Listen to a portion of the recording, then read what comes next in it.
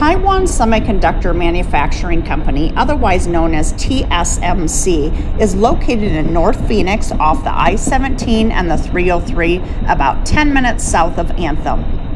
The original investment of about $12 billion was for the primary campus that spans nearly two miles by one mile, but now, due to further expansion of a secondary campus, the investment has tripled to $40 billion. This is Arizona's largest private sector investment ever and one of the largest direct foreign investments anywhere within the United States. Now, let's talk about jobs.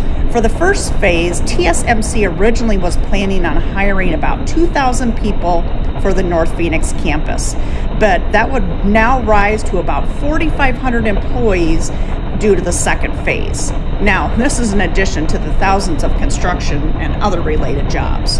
So, for those of you that are new to TSMC, congratulations, and I am here to help you find your next home. If you're curious about Anthem and North Phoenix, let's chat.